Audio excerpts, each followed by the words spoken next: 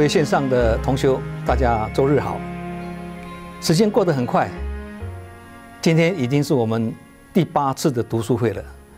这一次的读书会的主题叫做“真有两下子”，原生就欢迎你来了，缘灭呢就目送你去啊。原生就来，缘灭就去，来来去去，来去自如啊。原生就把握当下。缘灭就看开放下，这样才是真有两下子啊！唐朝呢，有一位布袋和尚啊，他常常就背着一个布袋在路上走。有一天呢，路上就有一些人看到布袋和尚来了，就问他：“布袋和尚，布袋和尚，请问你什么是什么叫做佛法？”哎，这个布袋和尚呢都没有讲话哦，他就把他身上背的那个布袋放下来。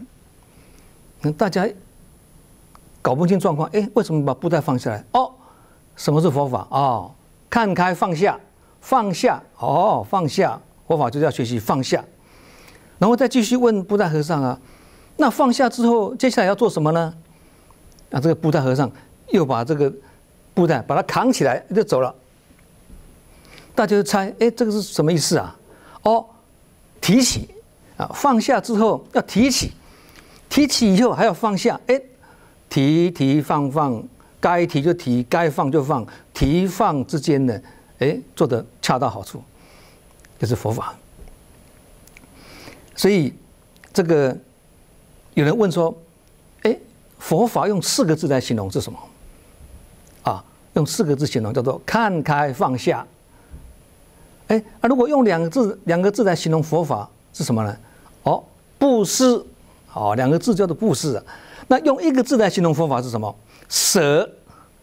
所以布施就是舍，舍就是布施的。所以你懂得舍跟布施的人呢，你才有可能继续去学习怎么放下。所以舍跟布施呢是放下的前提啦。我们今天如果要学习怎么样放下的话，你要平常就要学习怎么样去舍，怎么样去布施啊？哎。捐钱也叫布施啊，所以布施捐钱呢，就跟取井水的道理是一样的啊。井水啊，你每你每天把井水取出来用了，取之不尽呐，它也不会干掉了。你都不取这个井水放到那边，井水也不会满出来了。所以告诉我们什么？不取白不取啦，不用白不用了。好，钱也是一样的，你不捐白不捐呐。你捐的钱出去，你也看不到说钱减少啊。有形的出去，无形的进来，这是很多懂得布施的人的那种如人饮水，冷暖自知了。为什么呢？因为懂得布施的人呢，哎，他就很有福报。啊，有福报的人呢，哎，他诸事顺利，他做什么？是做什么事业，他都赚钱。他因为他很容易，他很容易赚钱，因为福报够嘛，对他很容易赚钱，那他就很能力，很有能力，很方便再去布施。啊，因为布施又有福报，所以这个是一个循环。那有一些人是啊，他不敢舍，他不敢布施，他不敢放下，因为没有舍，所以呢，福报不够，诸事不顺，所以他。不容易赚钱，因为福报没有，就很难赚钱。因为没有赚钱，哎，贫穷布施难，哎，他又没办法布施。因为没有布施，福报又不够。因为福报不够，又不能赚钱，所以这个是另外一个循环。所以布施也是要学习的。有些人呢，他不是不能捐钱，他也不是没有钱捐钱，他是没有捐钱的习惯呐。以前我也是没有捐钱的习惯呐。尽职尽责，知道说啊，能舍才能得，不舍就不得，多舍就多得。那个有一对老夫妻呀，哦，这个先生呢，老先生呢，大概差不多快九十岁了，可是他看脸上看起来没有九十岁的那种老人的样子，满面春风，相貌很好，很庄严。那大家就问他，问这个老先生啊，说：“哎呀，你活到九十岁了，怎么会面相这么好看呢？请问你是怎么养生的？”啊，大家都会问他：“你怎么养生的嘛？”那老先生说：“没有啊，我没有养生啊，但是我以前年轻跟我太太结婚的时候，我们就有约法三章了。结婚后，如果有争吵或争执的话，自认为理亏的人呢，就先离开，先去后院。他说：“这几十年来啊，每次到后院的都是我啦。什么意思啊？哎，谁先放下，谁先解脱。啊，这个老先生他懂得要放下，哎，他放下怎么样？哎，都不计较，不执着。哎，他怎么样？哎，他就容易有向好之果啊。为什么？容易忍呐，叫忍辱啦。所以佛法里面有一句话叫做“修忍辱得向好之果”。你这个人的面相要长得很庄严好看的话呢，要懂得修忍辱啦，很有道理耶。不能忍的人容易发脾气，发脾气是短暂的发疯，哎，那发疯的脸怎么会好看啊？所以这句话很有道理，修忍辱得向好的果。那良好的情绪管理啊，你这个人情绪管理很好，碰到喜事碰到恶坏事，哎，一样如如不动，很平常心的，啊，他不会说喜形于色。啊，他很会收敛常形的，哎，这个人情绪很高，EQ 很高，他的先决条件是什么？就是修忍辱了，要很容易忍，要能够忍得下来啊。所以，这个能够忍的人，能够不施、能够舍的人呢，接下来要学放下就比较容易了。就好像什么，哎。一般的人讲说，哎哎，他这个人修养很好哦，他很会忍气吞声呢，他不会生气动怒哦。我们在社会上看到很多这种人嘛，我们身边也是有这种人啊。但是这个叫做修养很好，但是跟修行是扯不上关系的哦。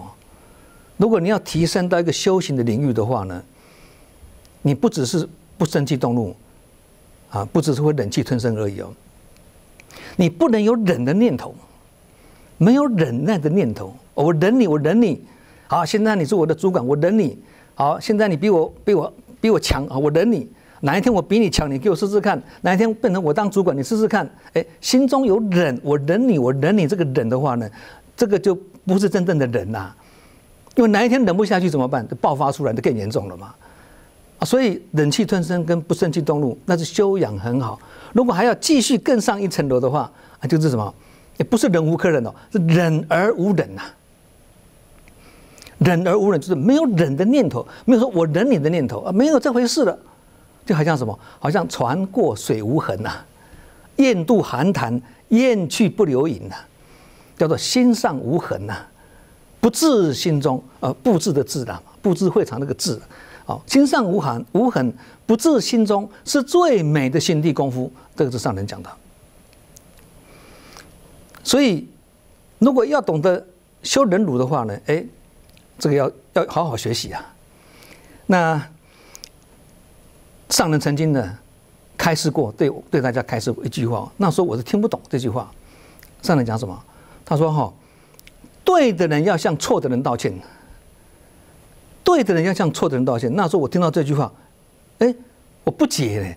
我说：“哎，应该是错的人向，哎，应该是错的人向对的人道歉嘛。”啊，怎么会对的人像错的人道？那那错的不是更嚣张吗？气焰更嚣张吗？那时候我无法理解。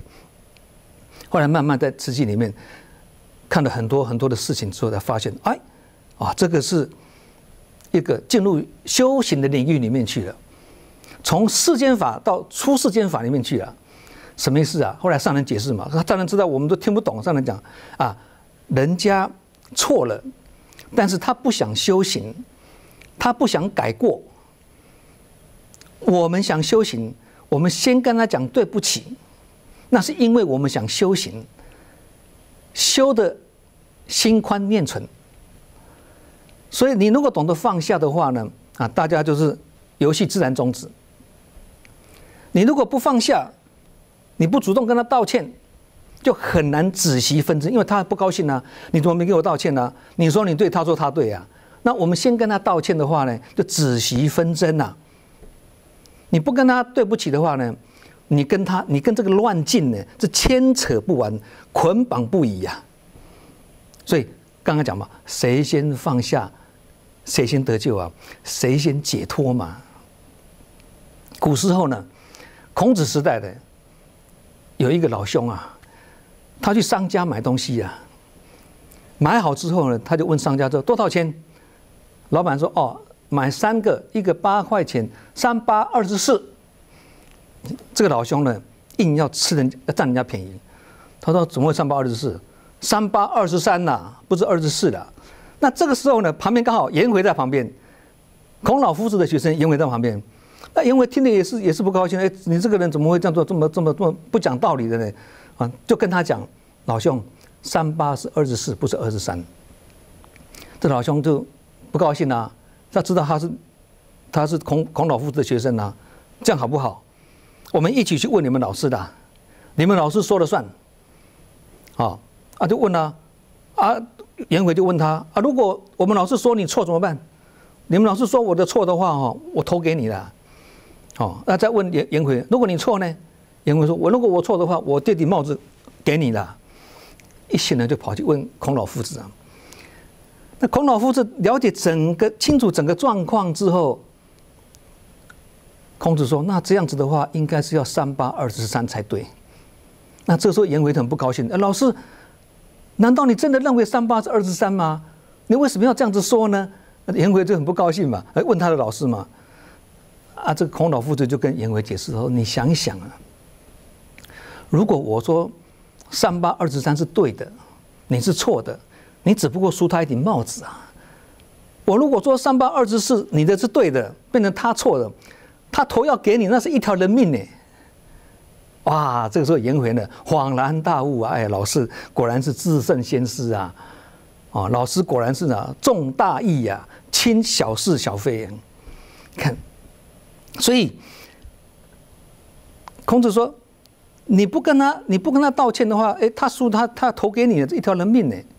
所以，不要只是做一个对的人，不要只是做一个有理的人，还要做一个什么慈悲的人呢？这个很重要了。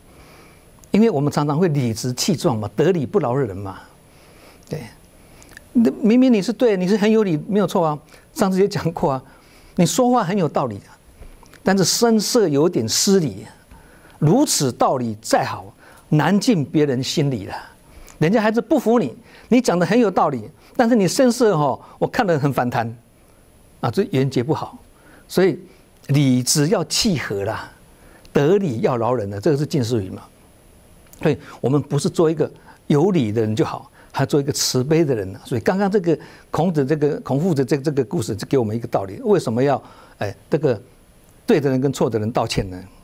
啊，以前呢有一位组长啊，哦，职工团队的组长，这个组长呢，他哈，他很有定见，很有主观呢，我知我见很深呐，哦，因为他有这种任性的个性跟率性的个性嘛，所以他在推动活动的过程中呢，会让下面的职工哈，会什么深受其扰啦。你明明讲的东西又不是很正确的，很明显不是很正确的。那我们要听你的吗？我们又觉得不喜欢，因为讲的东西不是不是正确的啊。但是不听你的吗？这个区块又是你负责的，你是组长，不听你的话，又人家讲我们不尊重，没有做到尊重，所以深受其扰，无所适从。那这个时候呢，就有一位干部啊，也是蛮资深的，哎，他是他是他是很会很有正义感的。他常常可以帮大家仗义执言的，他就跑去跟这个组长呢就理论啊，因为这个刚讲的这个这个干部呢，他是啊，他是理直气壮嘛，所以他跟这个组长谈过之后呢，适得其反，这个组长反弹更大，你凭什么跟我跟我讲这些东西？哎，这个组长反弹更大，那这个整件事情呢，其实是在这个据点里面有一段时间的，所以上人也了解，有一天呢。这个干部呢，回到金色去啊。那上人跟他对谈的结果，后来上人说，叹一口气说：“哎呀，你不要去断人家的慧根呐。”我在旁边一听，哎，上人怎么怎么叫这个干部不要去不要去断那个组长的慧根？上人怎么没有？上人怎么不担心这个组长这样子做的话，会断很多自贡的的的慧根呢？上人怎么没有考虑这个事情呢？我百思不解呀。应该是这个这个组我们要担心这个组长这样子做的话，会伤很多人的道心才对啊。后来我才发现说，哎呀，这个是智者教育弟子的用心良苦，博大精精妙之处啊。为什么？因为现在是你在我面前，我要教育你，怎么样面对这样的境界。如果那个组长回来的时候，上来会用用用另外一套来教育那个那个组长啊，我才知道哦，发现哎，后来发现在这个自工的工作里面哦，这种情形常常会碰到很类似的情形，上人都是劝那个自认为受害的、自认为委屈的那个人呢，你先改。哎，我们以前听不懂啊，啊，为什么啊？要成佛的人先改。要觉悟的人先改，要解除烦恼的人先改。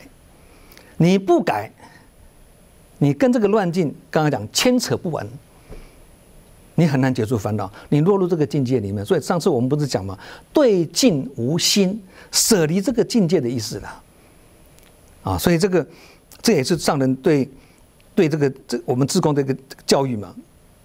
以前就有一个师姐呀，哦，那她。他就说，他也是一样碰到这个碰到这样问题，他是受害者。另外一个另外一个自宫呢是不对的，对他有一种伤害啊，或者是不尊重啊，或者是哦，是是是是那个那个那个委员是不对的。但是这个师姐是受是是是无奈是受害者，但是他来跟上人讲那个委员怎么样怎么样怎么样的时候，他讲一些那个那个另外那个委员的一些不是的时候呢？他想说上人，我讲完上人应该会体谅我，会安慰我嘛，对不对？说我几句好话嘛，帮我讲几句好话嘛。就他讲完之后，上人说你要改，你要改。哎，这个世界一定觉得很很很很奇怪。哎，我是受害者，上人你怎么叫我改？你怎么没有讲他呢？我在旁边听的说，哎，奇怪，哎，他是受害者，上人应该安慰他几句嘛。啊，怎么会用这种逆受的方式说你要改？一样的道理啊。上人对大家讲，要成佛的先改了，啊，你不成佛啊，你不想修行，刚刚讲你不想改过，哦，那我们想改过啊，先放下的人怎么样？先解脱嘛，你要改嘛？为什么？你唯有你唯有你唯有心宽念存，懂得适时放下，懂得改变自己的人，懂得先自我改变的人呢？才有可能因为放下而度脱此生呢？这个是上人哈，这个德恨涵养来教育弟子的这种醍醐灌顶的师徒之言呢。师徒之间的对话啊，有一次呢，有一个师姐啊，他们那个据点也是发生一些问题，就是说这个师姐很资深，她也很想做慈济，但是跟团队精神的问题还是怎么样？就是跟团队处的不是很融洽。有一次他回来随侍哦，那上人知道他的问题了嘛？啊，有时候中间有空档啊，上人就跟他聊了嘛。哦，啊，他就跟他上人就跟他讲啊，现在你们据点怎么样啊？大家相处的怎么样啊？啊，这个师姐就跟上人上人，他也知道上人要问他什么，他说上人是我要跟大家和，是大家不要跟我和啊。哎，听他这样讲起来是。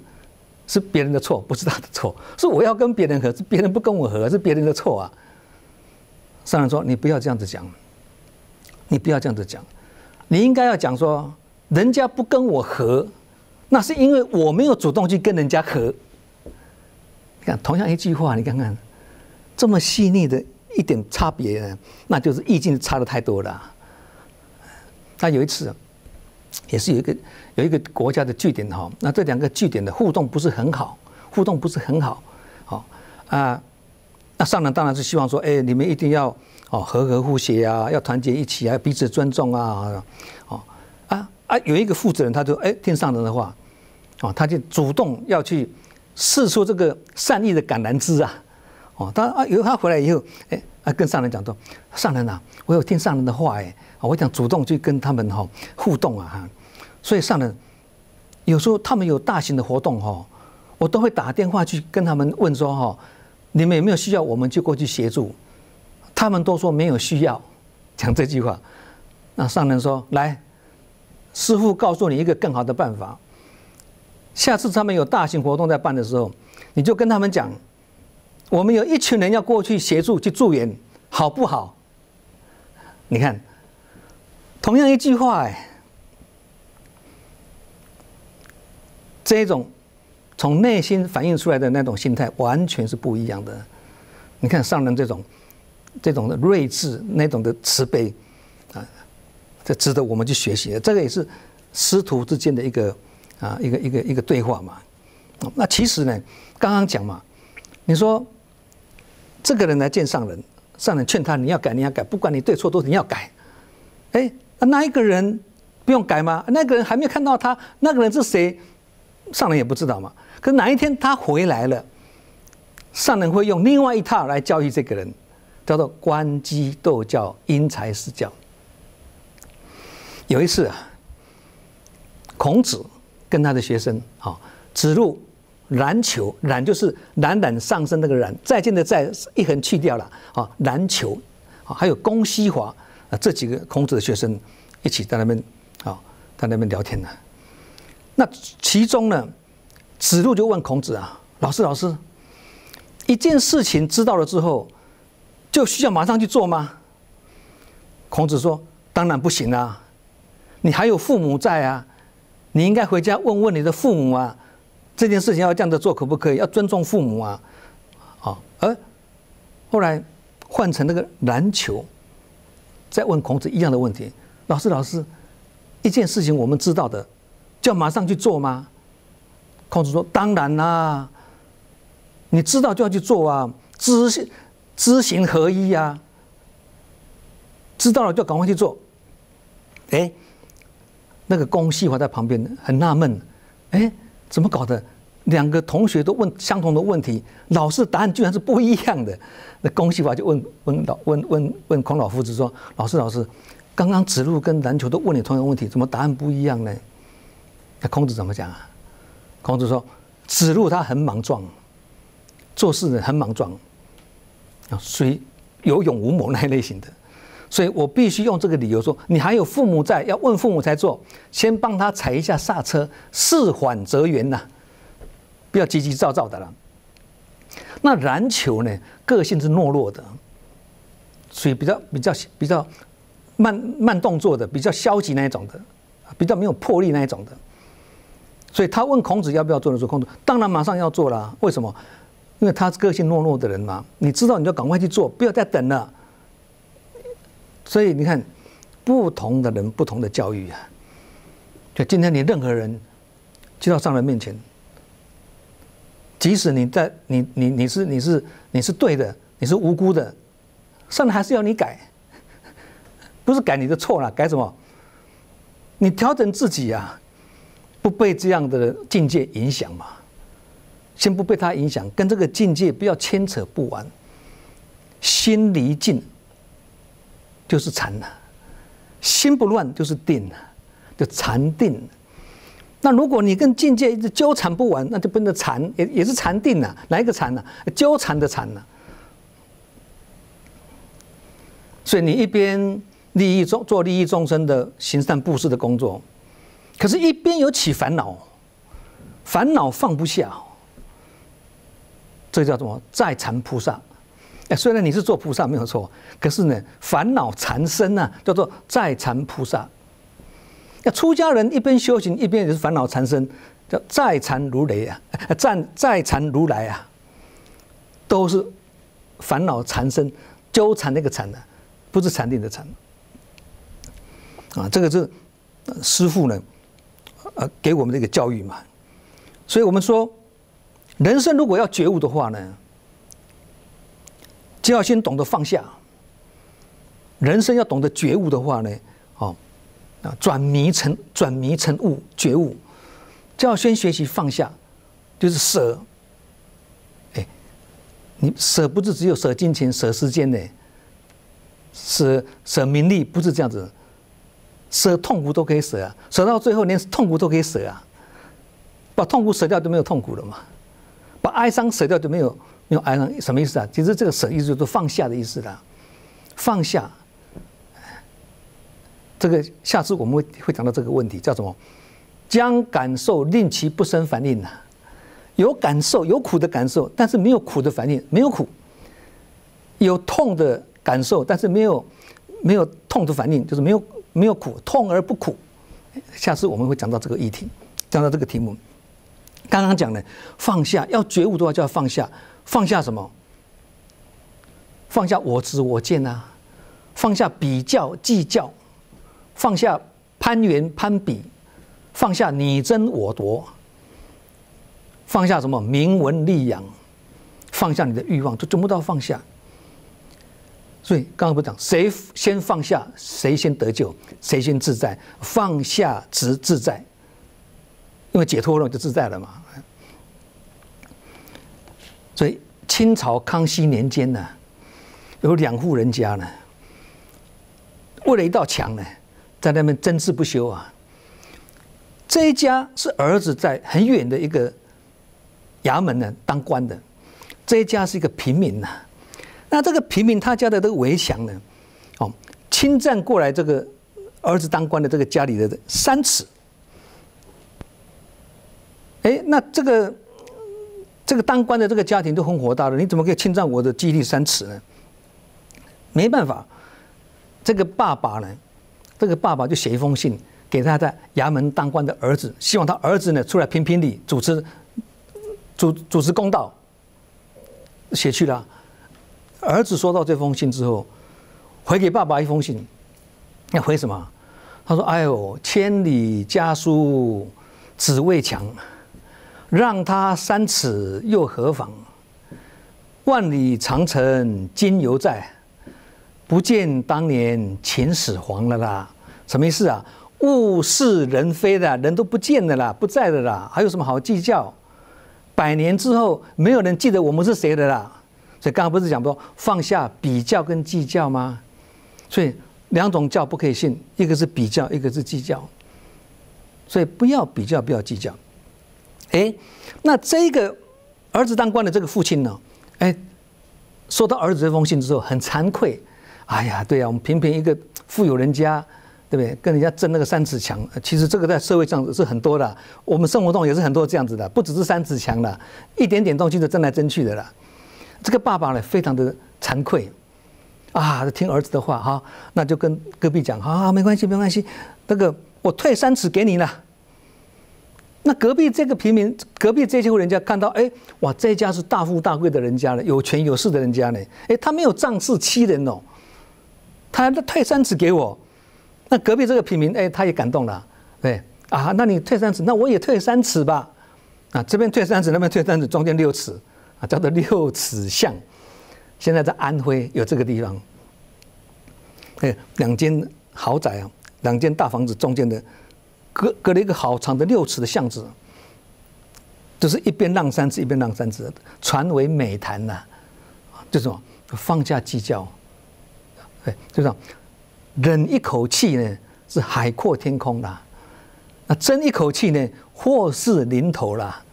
现在很多的乱象、冲突都好，都是为了你争我夺嘛。以前我们被人家欠债，我们也是很火大啊。现在社会上不是有人家帮人家讨债的吗？对我讨回来的话，你你多你你多少钱要给我，变成有这种行情的。为什么我们被？倒钱倒少还算的，倒这么多，很不甘愿呐。为什么你你跟我借钱不还呢？以前我也会呀，人家跟我借钱不还，我也很火大。可是学佛之后，我发现，哎呀，你要了知因缘果报啊。你这辈子这个人跟你借钱不还，有这样有这样的果报，表示你的前世你跟他借钱，你也是没还。但是拖了好几次的，累生累世的，可能以前你没你没跟他借那么多钱的，但是经过这么长时间以后，本金加利息，所以这一次呢，他跟你借很多钱不还了。那个钱本来就不是你的啦，那钱其实是短暂属于我们的啦，过路财神呐，因为你万般带不去，唯有业随身嘛，有什么好争的？到最后一毛钱都都带不走啊。那这个就是什么？就是放下的功夫嘛，放下放下比较计较啊。我记得以前呢，二零二零零二十年前，二零零一年前呢，二零零一年呢，那时候我在马来西亚处理会务啊。有一天呢，我跑去东马，带一批人跑去东马去处理会务啊。我还记得那是礼拜天的哦，我还记得是礼拜天，礼拜天活动比较多了，跑去东马嘛。那那一天下午我还记得哦，本会呢一个同仁打电话给我，他说：“师伯师伯，上人哦，要问你说哈，新加坡目前呢会务很多呢，欠一位执行长去那边哈协助推动会务，去那边作证的意思啦。”上人的意思是说，如果要你过去新加坡当执行长，长时间待在那里，但是也兼顾马来西亚这边的会务，你可以吗？问我可以吗？我还记得很清楚哦，我做这我做事情很干脆的，我我没有说啊啊那我回去考虑考虑好吧，因为这个很大事情呢，本来这个很大的事情呢，那我后来我当场就回答，我还记得很清楚八个字，我说没关系的。上人如果认为这样比较好的话，我就随境而安，随缘自在八个字。好，赶快就过去了。就一过去就怎么样？二零零一年就过去了，到二零一二年呢，满十年了。哇，那个会务是很多嘛，刚开去刚开始去哦，百事待兴呐，活动也好啦，读书会、共修会、培训的哇，都要都要大力的整顿啊。我一个人过去。那因为这样的过去呢，我一个人过去嘛，变成我家师姐在吉隆坡，我在新加坡，我的两个女儿在美国，我的爸爸妈妈在台湾，所以那时候我就我就自我调侃讲一句，我说：“哎呀，夫妻一人顾一坡，同为慈济来奔波，相见时少离别多，所以没空起风波。”后来，二零零四年呢，有海啸发生了，各位都记得吗？南亚海啸，二零零四年，那圣诞节的过后一天嘛。二零零四有海啸，海啸过后又一波，常常要飞可伦坡，磨练考验特别多。你知我知，不必说，道业继续走上坡啊，走上坡。好，去新加坡满十年了嘛，对。有一次我们在新加坡开董事会。啊，台湾本会一团人过来，啊，他们开会，他们就讲了，说，哎呀，新加坡经过十年的这个整顿之后呢，现在哇，人才辈出哦，团队很很很很强哦。那上人在问说，是不是新加坡这边的执行长可不可以传承，传承给新人？那其实平常我们就有这种概念的，因为我们经经营过，就我们经营过企业的人，我们很清楚了，人才是要靠长期的培养啊。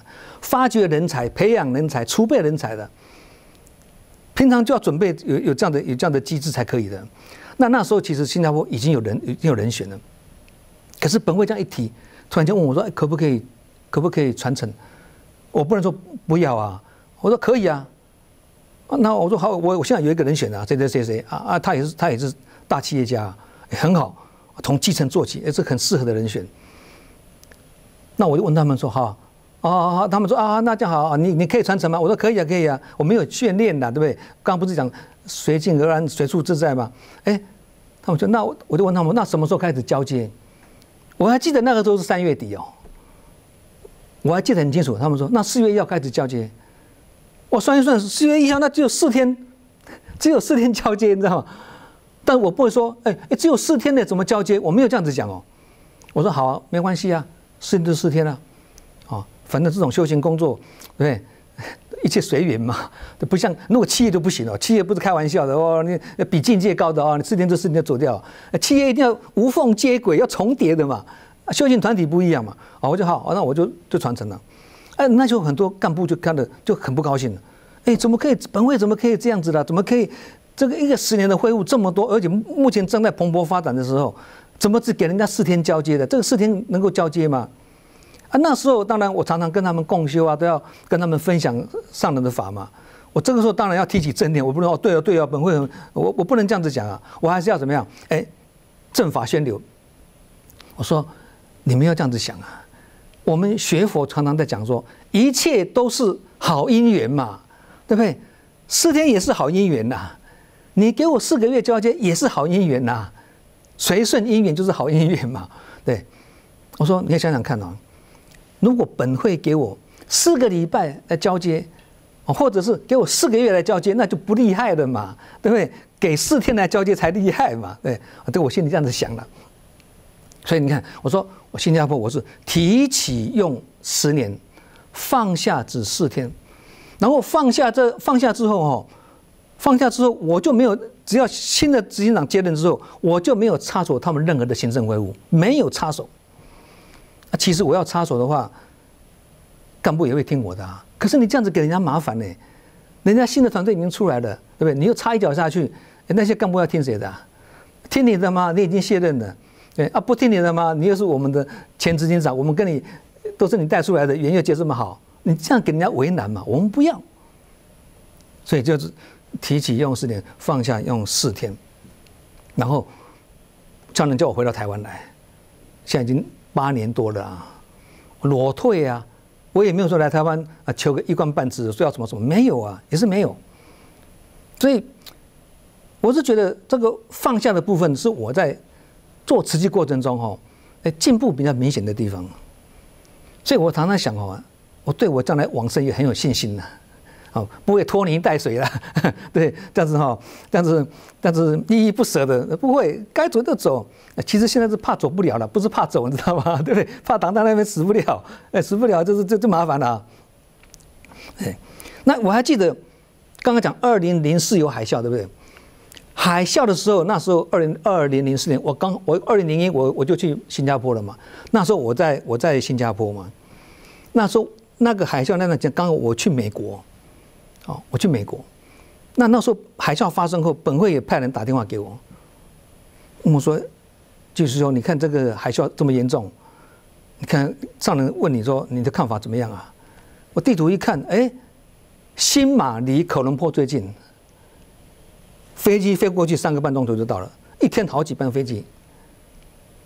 台湾呢要到斯斯里兰卡的可伦坡去，那没没那么简单了，不是在新加坡过夜，就是在泰国过夜，转机第二天再飞到那边去，到那边都前后都要两天多的时间，距离蛮远的。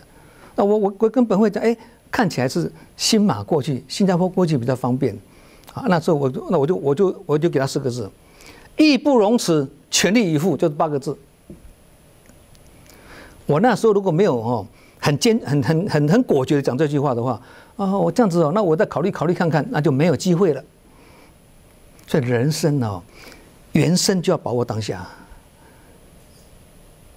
该上台就上台，该下台就要下台。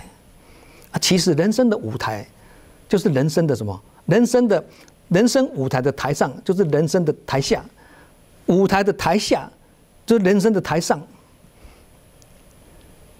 舞台上所演的故事，是舞台下真实的故事。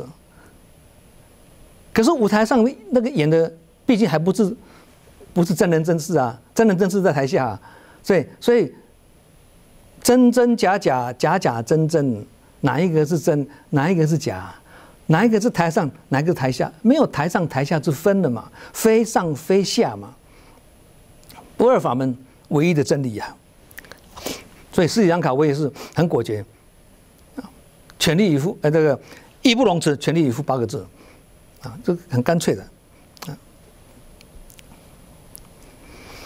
其实刚刚讲说你，你有看开啦，哦哦，你要放下啦，哦，当下啦，啊，其实你说把握当下很重要，没错，活在当下也很重要，活在当下也很重要。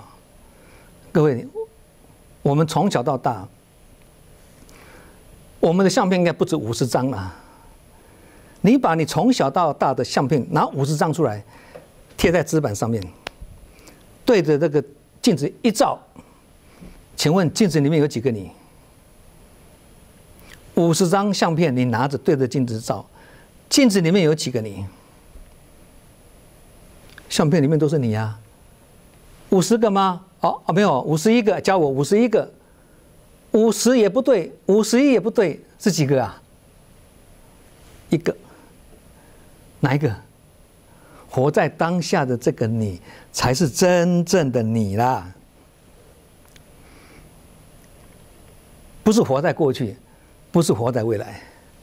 所以过去的对过去对过去的不再去做无谓的回忆跟计较，那叫做无悔。对未来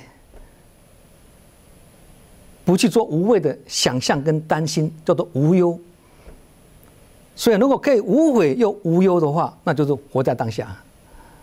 一个人如果一直在怀念过去、回忆过去，或者担心未来、烦恼未来，基本上呢，这个人不能叫做活着，他不是活着，因为他不是活在当下，他是活在过去、活在未来啊，那个都不实际的。真正的活在当下的人是什么？他是实际体验，当下就来都就来体验的。那实际体验在在哪里啊？就在当下嘛。所以把握当下，把握当下很重要。活在当下是更重要。很多人常常这样子啊，担心，对吧？就是就是后记后悔过去也好，计较过去也好，啊，烦恼未来，妄想未来，造成迷惑，现在不知所措。所以你说，明天重要不重要啊？明天是充满了希望啊，但是活在当下是更有希望啊。所以刚刚那个相片照那个这个活在当下的这个你，才是真正的你。过去的你不能说不是你，但是已经过去的，不去做无谓的回怀念跟回忆。好事你回忆的，你会陶醉在过去。坏事你回忆的那是更不好，所以上次我有跟各位分享嘛，哎，该记得就忘不了，该忘的就记不起，好啊，你好事记得起还好，但是你坏事忘不了。现在我们要学习，连好事也不去回忆，不去那个，啊，可以记忆，不要去回忆啊。哎，我以前听这话听不懂啊，人生是可以。记忆，但是不要回忆，什么意思啊？我刚刚讲，你对过去一直回忆，一直怀念，那个那个就是活在过去的嘛。那为什么可以记忆不能回忆？什么意思啊？好像电脑一样啊。你把它把历史放进去，实际也是很多，其实实际的历史啊，对过去的实际的活动都变成历史了。历史放在我们的历史的大藏经里面保存起来，人生也是一样，你把你的过去保存起来。但是你不用常常执着在过去，妄想哎，或者是想未来，想过去是杂念，常常去怀念过去，回忆过去，变成活在过去了，那变成脱离现实，就没有活在当下了。所以你可以把那些事情记在你的电脑里面，需要的时候回去看一下，但是不是执着在那个地方，跟他捆绑在一起，活在过去，陶醉在过去啊？人家不是说英雄什么那个什么？英雄不提当年勇嘛，对不对？但不是说把过去都忘光光，不是存起来，所以可以记忆，但是不要去回忆。那刚刚讲，你对过去一直在回忆，一直在怀念，这个是活在过去。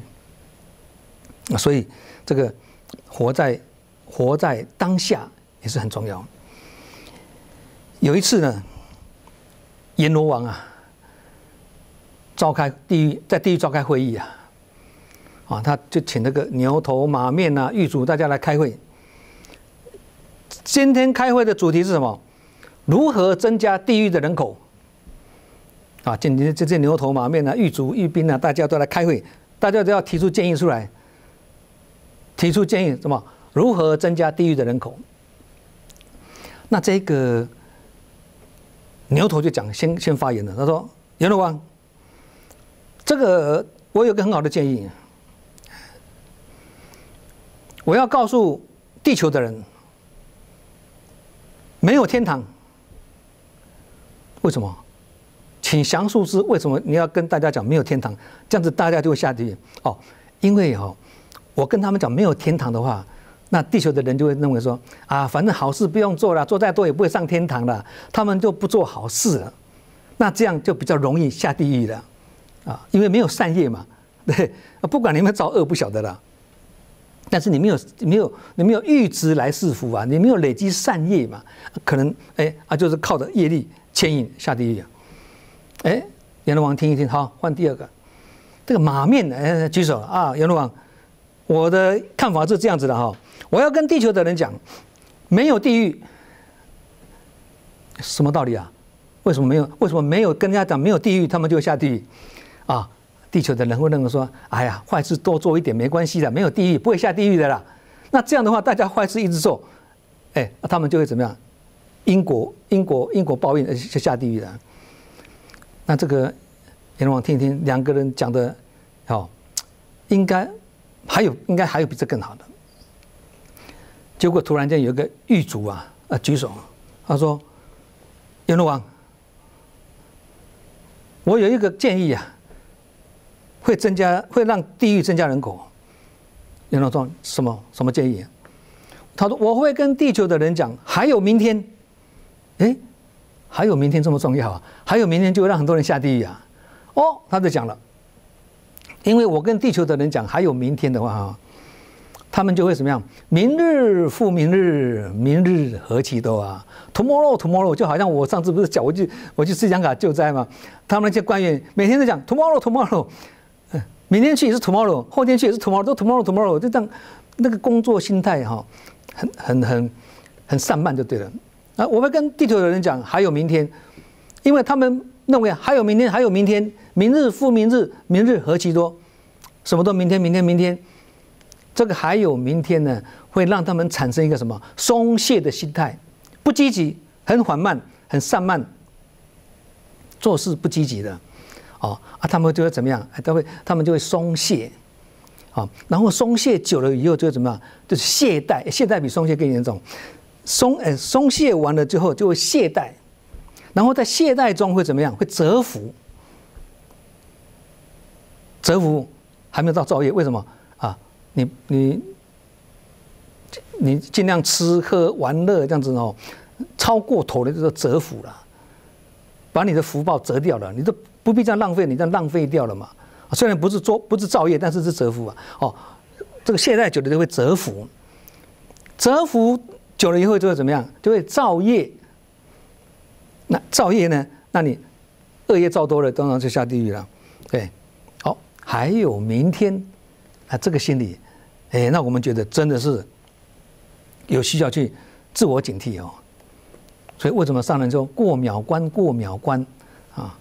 现在在连线跟海外连线有时差，但是没有秒差，哎，这个也是很很很深的道理啊啊！一天二十四小时，全球的慈济人哎不日肉，每天都有每个地方都有慈济人在做事情，每一天呢。啊，哎，这个还有明天的心态，很很要命呢。啊，不是说明天没有希望了啊？你这样讲，那明天没有希望吗？不是明天没有希望，是把握今天更有希望。那其实我想一想哦，哎，明天，我想想，哎，今天的哎，昨天的明天就是今天嘛，对不对？昨天的明天就是今天，今天。今天的明天还是明天的今天，也是明天的今天，所以只有今天，不是还有明天啊？所以还有明天的心态要把它改成什么？只有今天，不是明天不可靠，是把握今天更可靠，是这样子啊啊！所以，我们今天的题目，当下跟放下啊，都是。两下子啊，我们都要在生活中呢，去好好的这种啊去学习啊。那我们今天当下放下的这个读书会呢，好，可能就我们就是讲到这里。好，那我们下星期的我们的题目是把。烦恼写它写在沙滩上，为什么要把烦恼写在沙滩上呢？因为我发现很多人呢，他不是把烦恼写在沙滩上，他是把烦恼刻在石头上，所以呢，永生难忘，生生世世都在烦恼中啊！啊，人是住在庭院深深深几许的豪宅，心是在烦恼深深深几许的地狱里面呢。所以烦恼怎么消除啊？就跟我们今天所讲的放下很有关系呀。舍一分的，舍一分的烦恼，就得一分的清净了；舍一分的财物呢，就得一分的清安。舍、布施都属于放下，所以你该放的要放，该提的要提哦。刚刚讲嘛，你这个放下。不是放下自己的烦恼、埋怨与忧愁还不够，放下个人的这种私情小爱，提起众生的长情大爱。提放下个人，提起的是什么？是是是大我，放下小我，提起大我的。当下也是这样，所以我我我感觉到，我我在慈济差不多将快三十年了哦，我很少去放。放弃任何的小姻缘。我我去新加坡，那个也是当下就决定。去斯里兰卡也是一样啊，去海燕也是一样啊。我那时候，那个是几年的？那个是十多年前吧？哎啊，八年前了，八年前的菲律宾的海燕风灾啊。那时候我正在随师啊，本来上人派我去斯里兰卡要去发放，要去发放大米啊，斯里兰卡。好，我答应了要去啊，我在随师啊。突然间碰到一个世纪大灾难——海燕风灾啊！上次有跟各位，上次有跟各位分享过嘛？潇洒走一回，你们有分享过吗？那整个把那个那个城市摧毁掉，好像轰炸机轰炸过一样，哇，很严重。那这个灾难已经超过他们菲律宾分会平常所做的本土型的灾难的救灾工作、救灾能力，已经超过他们了，必须本会过去支援了。那时候上人在讲的时候，还没有号召人权哦。上来就讲，哎呀，现在这个菲律宾发生这么大的灾难，怎么怎么样？我随时哦，我如果没有当下赶快表态说，上人，这个看起来这个海燕风灾，菲律宾海燕风灾是非常严重啊。那我想当地的干部可能也需要本会支援哦。上人，如果你同意的话，我希望斯里兰卡的发放工作比较单纯，让新马他们过去就好。哦，我希望上人让我去协助。海燕风灾的看灾工作，上人说好，我第一个报名，我第一个举手。啊，那个时候其实我也我也我也不得不举手，你知道吗？为什么知道吗？因为我不举手，我不举手，上会说，哎，啊，你随师的人呢？我已经讲到这个灾难这么重大，你居然是如如不动，都都没有吭声，表示你怎么样？你没有发心立愿，你懈怠不积极。不过这个道理我也懂了，所以我赶快哎那个。在，所以有一个人说，一个人的身价哈是看的关键时刻他有没有出来了。一个人的属性呢是看他旁边跟着哪些人呐，因为物以类聚嘛，对。所以呢，我那时候就觉得，哎，义不容辞，赶快举手。好，很多好好几个看待工作都是我马上举手的，因为我不我不举手的话，上人说这个弟子孺子不可教也呀。我已经在讲的这个灾难这么大这么大的时候，居然没有发心立愿，这这样不对哦。所以我的印象中是觉得我在实际工作里面呢，很少放弃小姻缘的。小姻缘能够把握，你才有可能大姻缘呢。近思语里面讲什么？小事不做，大事就难成呐。啊，所以你要从小开始做起，从基本开始做起，就叫什么？君子务本呐。君子务本什么意思啊？这个本什么意思啊？君子这个孔子讲，君子务本，本立而道生，这什么意思啊？这个本什么？根本、基本、本分，自己叫做本呐。啊啊！君子务本的意思什么？君子呢，专心致力于他自己本分上应该做的事情。该举手你要举手，上门我要去。该做的事情你要尽本分去做。该扮演的角色，你要把它挥洒的淋漓尽致。基础，该行善行孝也是本呐，行善行孝啊，哎，这也是基本的。所以，本立而道生什么意思啊？你基础的、你根本的都建立起来，都做好了，里面就蕴藏的真理在里面的啦。所以，没有什么大道理。啊，说一丈不能做一说一丈不如做一寸。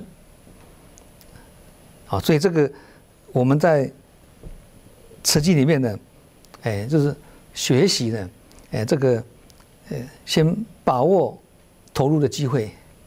啊，现在你如果没有把握当下，把姻缘蹉跎掉了，后面再来没有什么机会的。像现在你看看，你现在去国际救灾，现在越来越难了，因为每个国家都有自己的职工。以前台湾本会都要出去嘛，新马也要过去协助嘛。现在很多国家都自己有自己的团队了，对。那以这个社区自工跟区域自工来讲，哎，这个区域发生灾难，比较近的国家过去，比较远的你都没有机会了。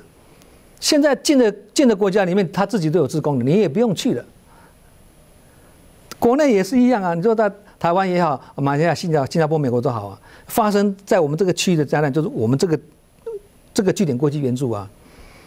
现在那个区域都有自有都有自工的，你都不用去了，所以机会是越来越少了。以前我们去过青海，我去过一次，永生难忘，在海拔四五千公尺的地方，还走过巴颜克拉山的拍张相片起来，那个都五千。五千多公尺的高山，那个氧气很稀薄的，还经过那个文成公主住过的地方啊。以后呢，此生只是没机会了，因为青海已经有自贡了。好像我们去过那个是十多年前我们去过一次嘛，印象非常的深刻。要不是做自己，哪有机会？因为那个地方要要路上要申请的嘞，不是随便随便观光客可以进去的。那现在那边有自贡了，什么灾难他们自己救了，没有轮到我们了。所以把握当下。把握当下就是永恒呐，所以有人问上人：“上人，什么是永恒？”上人说：“连接每一个当下就是永恒，没有把握当下就没有永恒呐，就这个意思啦。”好好，我们今天读书会就到此结束哦。感恩呢，这个高科技呢，让我们有机会呢，在这个云端呢，啊，把云端当做道场，一起来共修学习读书。好，我们下周同一时间。再会啊！祝福各位，感恩，谢谢。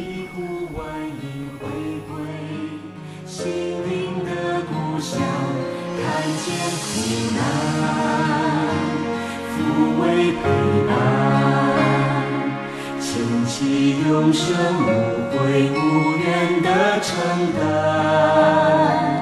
走过了山巅，